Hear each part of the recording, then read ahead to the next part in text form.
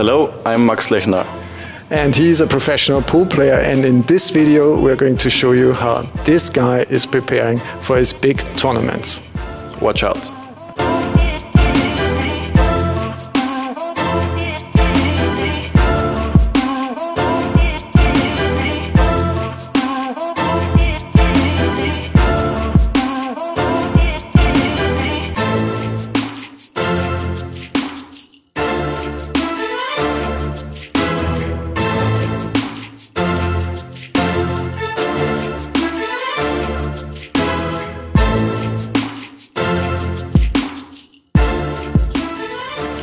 Hello, Max. It's a pleasure that we two meet each other again and that you show me a little bit and show us a little bit how your training regime works.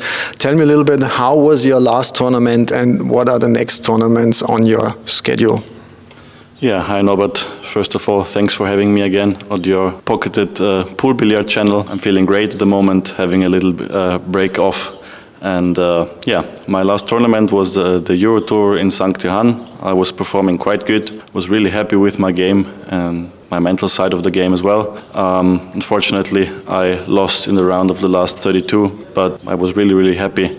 And uh, yeah, can't wait uh, to compete in Fulda at the, the Matchroom European Open. I'm a huge admirer of your stroke technique, and I'm so curious to learn who taught you to play like this and who helped you to achieve this really perfect uh, stroke technique.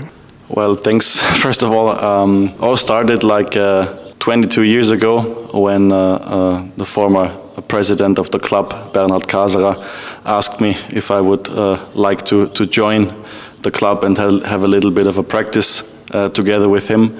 And yeah, since then, he's on my side as my, my coach, my friend, of course, and uh, my manager. And um, he teaches me all he knows, and uh, he's always uh, willing to learn something new. Uh, doesn't matter if it's the mental part or the technical part. And uh, yeah, since 22 years, we we work together as a team. We all know you from your awesome results, especially in the United States. People here in Austria and in Europe know you anyway, but the International Open against Jayson Shaw, where you just lost barely in the final. Uh, how would it feel to you if you would have won, won this tournament? Well, uh, yeah, uh, always a great memory. Uh, in 2019, Norfolk uh, was a great tournament. I was uh, enjoying myself a lot over there and uh, yeah, had a lot of fun. And uh, the final with Jayson, I think I was just a little bit too nervous and uh, was too nerve-wracking for me. But uh, yeah, it was a, a great achievement and uh, yeah, I hope I'll be in the final one day again. Okay, and now uh, I really appreciate that you spend your time with me and that you show us a little bit how you practice. So let's stop talking and let's get on the table. Let's go.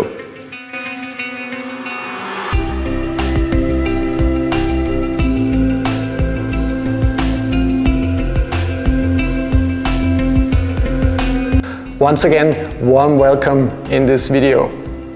Max, show me, how do you start, how do you usually start a practice session? Before I even hit the ball, I'll do a quick, or not so quick, uh, warm-up having a little stretch, doing some exercises to activate my brain. Mm. So um, yeah, that lasts about, like I said, to 30 to 45 minutes. Mm -hmm.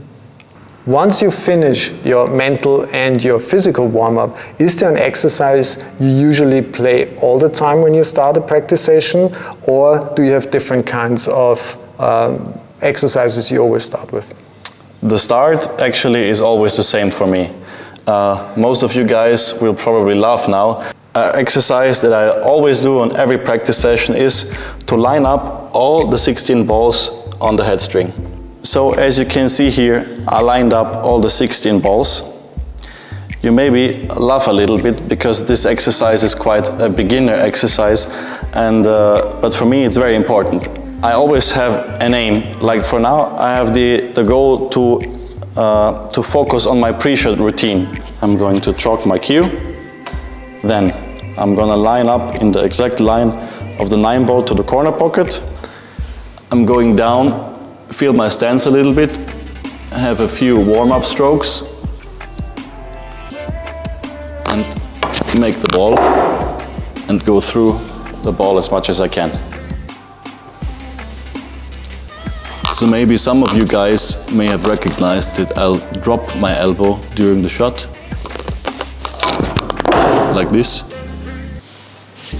For me, that's the perfect technique because you can gain so much more power uh, with a bigger follow through. But uh, like I said, there are many players not dropping the elbow, playing world-class pool. So everyone is individual and whatever works for you is the best.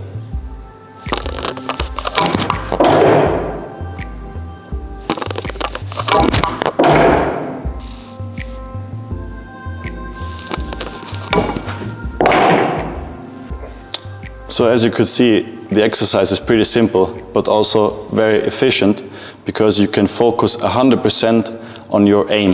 Like in my case, the pre-shot routine. So Max, since you mentioned uh, your pre-shot routine, like the first exercise totally makes sense to me mm -hmm. because you just warm up and try to feel your stroke. Exactly. Um, I got two questions. Why don't you use object balls and how does your pre-shot routine look like? So to the first question, why I'm not using object balls. It's pretty simple because if you use a cue ball and an object ball, your mind says always make the ball. And it's more important for your mind to make the ball than to focus on other things. So I'm using only object balls or only cue balls um, to really focus on what I want to achieve. So first of all, my pre-shot routine looks like this. Here we have a nice layout in nine ball. First I'm going to check out the situation then I finally make a decision. In this case, I will play a stop shot on the one to be perfect on the three ball. Then I will chalk my cue, standing line, put my heel on the center line, go down on the shot, have a couple of warm-up strokes, make a pause, and go through. Max, why is it necessary to make a pause before you make a shot? For me, it's necessary because I always double check the aiming point on the object ball. That's why I'm doing a pause. And in your opinion, does it have any effect on your technique if you make a pause or not? For me, not really. Thanks so much for the first uh, hints and for the first insights. So once your initial warm-up stroke routine is finished and you're happy with your pre-stroke routine, uh, what would be the things you need to work on right now or you feel you need to work on right now just to improve your game? Right now, for example, I'm working on so-called pressure situations. So I'm only allowed to move on to the next exercise as long as I am finishing the one that I'm doing. So these pressure situations you were talking right now, um, I also call them frustration drills. Can you show us one? Of course. So for example, the first exercise would look like this. So the cue ball is placed on the second diamond in a straight line to the object ball, which is placed on the first diamond. I would try to make a perfect stop shot. So the first shot would be a perfect stop shot to pocket the three ball in the corner pocket and stop the cue ball exactly there. The second shot would be a follow shot, pocket both balls in the upper corner pocket. And the third shot would be a draw shot, make the three ball in the corner pocket and draw the cue ball back in this corner pocket. So now I'm gonna show you what I was talking about. First exercise, stop shot.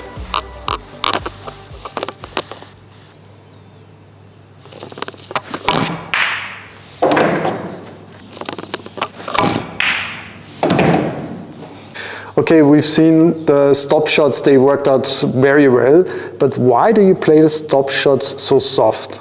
Um, in my opinion, the better the technique, the more easy it is to pocket a ball. Because if you hit it a little bit uh, fat or a little bit thin, it may rattle into the pocket, in the pocket, and it won't go down. So the softer you can play a, a stop shot, for example, the more, the, the, the higher the percentage the ball will drop. So once the stop shot exercise works out perfectly, you put yourself under pressure in trying to get both balls into the corner pocket, correct? Yes. Can you show it to us? I'll try.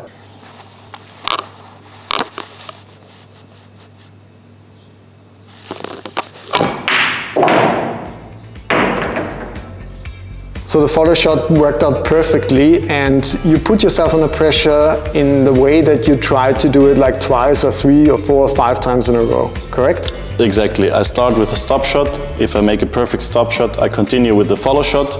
And only if I, if I make a, a perfect uh, follow shot, I'll have the draw shot next. If I fail, I'll start over with a stop shot again. Oh, that puts a lot of pressure on you. Sometimes. Okay, can you show us the draw shot as well? Yes.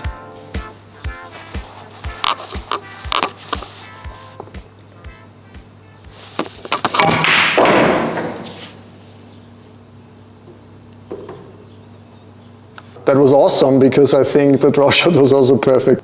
Could you do three, four, or five of them in a row as well? Maybe. I hope uh, I don't have to, to put too much pressure on me to, to try it over and over again. But um, yeah, I try to be as consistent as possible, of course and I think that's a perfect ex exercise for it. Thanks so much for the demonstration of your awesome stroke skills.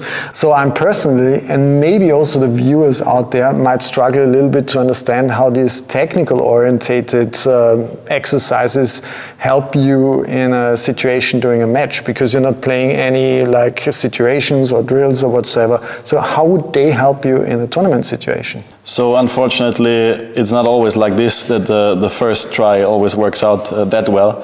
And uh, sorry to interrupt you guys, he really did it on the first try, so follow up and draw shot. I'm not, I'm not joking here.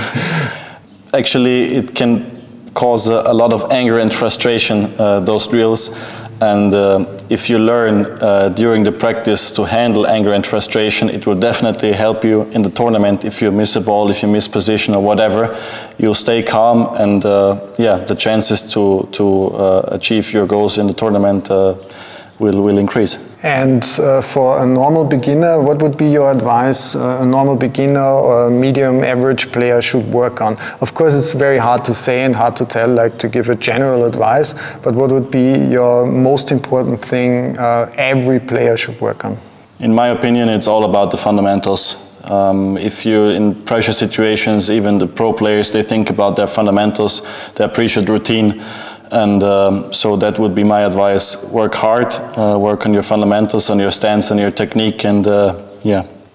And last question I would have to you, uh, Max, is how often do you think it should be advised to practice? Of course, you're a pro, you can practice much more often than uh, the average Joe.